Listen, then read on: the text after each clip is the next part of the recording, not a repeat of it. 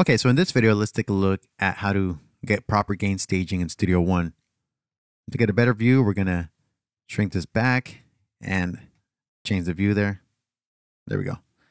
All right, so what we're gonna do is we're gonna put a plugin on the master. And the fastest way to do that is to click on these two meters right here, double click, and it shows up the main inserts.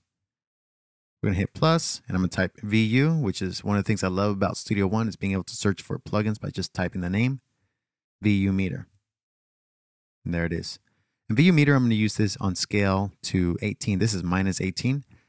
That basically means that when this VU needle is hitting zero, it's minus 18 dB.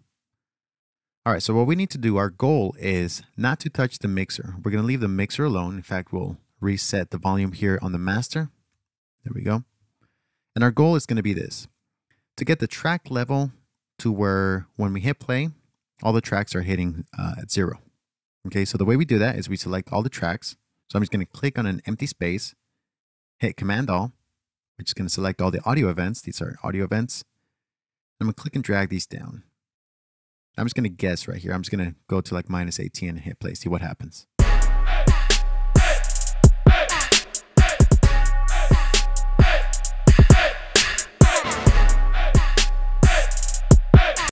Okay, so I actually guessed it right. We can actually go up a little bit. Let's try minus 17. And again, if you want to do fine tuning, you can hold down shift while you drag.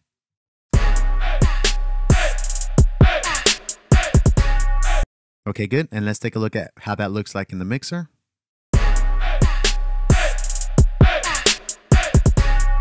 What this basically means is that when we start mixing, we're not going to run out of headroom. We can make the track ladder at the end by putting a limiter or a number of limiters, but this gives us enough headroom before we start mixing. Okay. So just to recap, if I go to browse under pool, these files are still living on the desktop. Let me show you. Here's the desktop. Here are all the files. If I go to the hip hop session, there's not a media folder created yet. Okay, so we're almost ready to copy these files over. Hang with me. All right, so all these tracks are selected. I'm gonna trim the end so it can be a perfect four bar loop. If you don't see the waveform, you can increase the waveform view there. All right.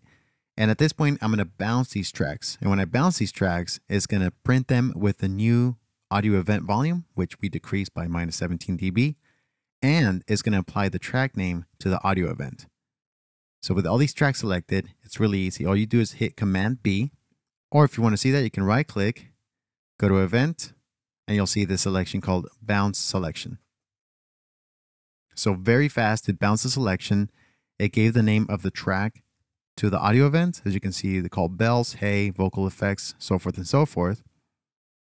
And you can see that these files are labeled differently from the external files. Okay. Two more things. Select all the files in the pool you can select them individually or hit Command A, right click, and you can have this option called Remove Unused Files. Let's go ahead and do that.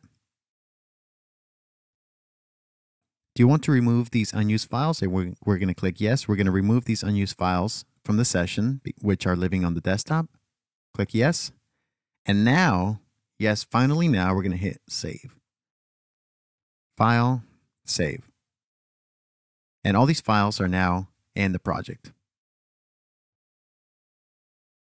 There they are under bounces. Let's go close the browser and let's make sure everything plays back just fine.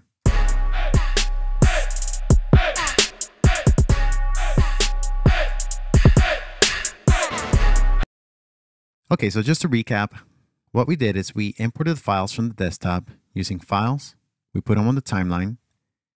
We cleaned up the track name. We adjusted the event volume for each of these tracks so that we have enough headroom. We bounce these files by using the event bounce selection. We removed the unused files from our project from the pool. And then this gave us a clean starting point so that there's no external files that are in our session and there's not duplicates of the same file. In the next video, I'm going to show you the wrong way to do this so that you don't make that mistake.